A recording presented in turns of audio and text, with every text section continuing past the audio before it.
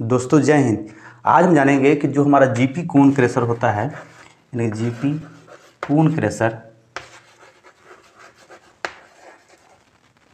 जब हम इसको प्लांट में रन करते हैं, जब इसको हम प्लांट में चलाते हैं तो अंधाधुन चलाते हैं, यानी कि इसमें अंधाधुन पत्थर भी तोड़ते हैं और इससे अच्छी खासी प्रोडक्शन हम लोग निकालते हैं। लेकिन एक समय ऐसा आता है कि इससे प्रोडक्शन भी हमारा कम हो जाता है और प्लस में एक और काम हो जाता है कि इसका जो क्वालिटी होता है जो क्वालिटी होता है, वो क्वालिटी भी ढंग का नहीं निकलता है। तो ऐसा तब होता है जब हमारा जो कून कैविटी होता है, यानी कि जो हमारा कून मेंटल होता है, अब इस टाइप देखे होंगे जो हमारा कून मेंटल होता है, और एक साइड में इस टाइप से लगा होता है हमारा कून केव ठीक है? ये दोनों जब घिस जाता है तो हमारा जो प्रोडक्शन है कम हो जाता है, उतना माल नहीं खाता ये, और उस समय जो हमारा जो मटेरियल का जो क्वालिटी होता है, वो ख़राब आने लगता है। तो हम कैसे पता करें कि हमारा जो कून मेंटल है अब ख़त्म हो गया है? यानी कि अब ये प्रोडक्शन लाइक नहीं है और कितना एम तक हम उसको चला सकते हैं? चाहे आप किसी भी कंपनी का बात करें और उसके बाद हम इसका जो लाइनर है कौन का लाइनर है, उस लाइनर को हम और कैविटी को है, दोनों को हम बदल देते हैं। तो बिना स्किप के वीडियो के अंत तक ज़रूर बन रहिएगा और वीडियो कर दीजिए अभी से लाइक और चैनल को कर दीजिए अभी सब्सक्राइब क्योंकि इस टाइप के वीडियो मैं हमेशा आपके लिए बनाता रहता हूँ। तो इसमें ज़्यादा कुछ आपको नहीं करना है। आपने देखा होगा कि जीपी जो कौन क्रेशर होता है, उसके टॉप में यानी कि साफ्ट जो होता है मेंटल का इस टाइप से आता है। ठीक है? यानी कि इस टाइप से ऊपर की ओर लगा रहता है। ठीक है? और यहाँ पर एक बैरिंग लगा होता है। ठीक है? एक्चुअली बुश होता है, लेकिन इसको हम लोग टॉप बैरिंग के नाम से जानते हैं। ठीक? तो ये बुश होता है यहाँ पर, और जब यहाँ पर हमारा एक चेकनेट होता है। ठीक है? आपने देखा होगा कि जो हमारा मेंटल है, मेंटल के ऊपर एक चेकनेट कसा होता है, जिससे जो हमारा लाइनर है, यानी कोल का जो, हेड का जो लाइनर है, उस लाइनर को ये ऊपर की ओर आने नहीं देता है और इसमें हम बेकिंग कंपाउंड से जाम कर देते हैं। तो जब हमारा मेंटल ख़त्म होने की अवस्था में होगा, यानी कंडीशन में होगा तो उस समय हम क्या करेंगे कि हम कोन को पहले स्टार्ट करेंगे। स्टार्ट यानी कि रन नहीं करना आपको। हाइड्रोलिक पंप को आपको स्टार्ट करना है। हाइड्रोलिक पंप को स्टार्ट करने के बाद, यानी कि पावर पैक को, पावर पैक को आपको स्टार्ट करना है और मेंटल को अप करना है, ठीक है? अप करना है और अप तब तक करना है जब तक कि ये इसमें सट न जाए, ठीक है? एक साइड में आपको चिपकेगा, एक साइड में खाली रहता है क्योंकि वो उतना एक से एक ही साइड में वो चिपकता है क्योंकि सेंट्रिक बुश के साथ में लगा रहता है। तो एक साइड में कहीं भी चिपक जाएगा, तब आपको क्या करना है? तब आपको एक या तो एल्युमिनियम का रॉड लेना है पतला सा। दूसरा, आप ले सकते हैं इंची टेप। इंची टेप ले सकते हैं। या फिर कुछ ऐसा चीज़ लेंगे जो इस जगह को नाप दे। यानी कि ये टॉप बैरिंग है और टॉप बैरिंग और यहाँ जो हमारा चेकनेट है, चेकनेट के, देखिए आप, चेकनेट के जो दूरी है, ये दूरी को आपको नापना है।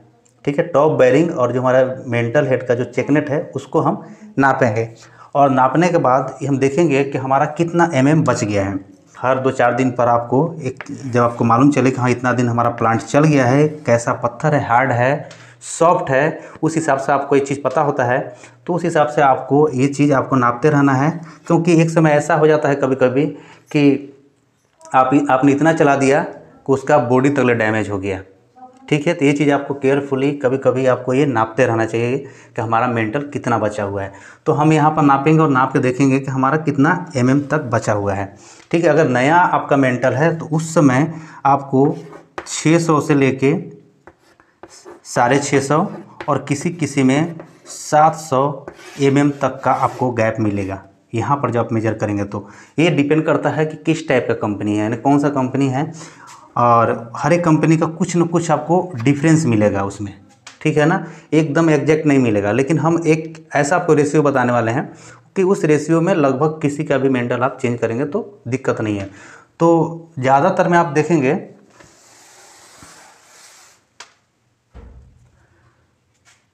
तो इसको आपको चलाना है कब तक? इसको आपको लास्ट चलाना है। यदि आप यहाँ पर नापते हैं और हमारा पैंतीस एम mm यदि आपको गैप मिलता है तो आप समझ लीजिए कि आपका मेंटल चेंज करने के अवस्था में लास्ट कंडीशन में आ गया है। ठीक है? अभी आपको बता रहा हूँ कि ये आदमी लास्ट कंडीशन तो है ही ये, लेकिन लोग इसको कहाँ तक चलाते हैं? इसका थर्टी फाइव एम तक हो गया तो आपको ये चेंज कर देना है। यदि आप नहीं चेंज करते हैं तो बहुत लोग थर्टी एम पर भी चेक इसको चेंज करता है। बहुत लोग क्या करता है कि ट्वेंटी फाइव एम तक भी ले जाता है और इस सब जो कंडीशन है, आपको ये बॉडी को घिस सकता है। ठीक है? तो आपको रिस्क नहीं उठाना चाहिए, क्योंकि पता चला कि आपने पाँच एम के चक्कर में बॉडी घिस दिया, इधर बेरिंग मार खा गया, ठीक है? प्रोडक्शन तो उतना आएगा नहीं।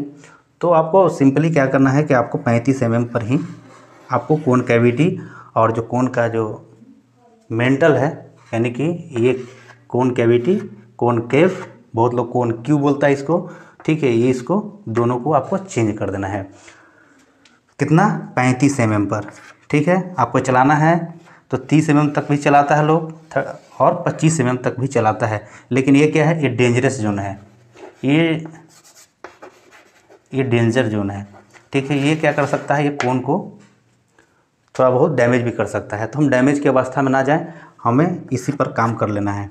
ठीक है तो आशा करता हूँ आपको कि आपको समझ में आ गया होगा कि हमें कितना एम पर हमें मेंटल को चेंज करना है और लास्ट हमें कितना एम तक चलाना है। तो वीडियो पसंद है तो वीडियो को लाइक शेयर और कमेंट ज़रूर कीजिएगा। चलिए फिर मिलते हैं नेक्स्ट वीडियो में। तब तक के लिए जय हिंद।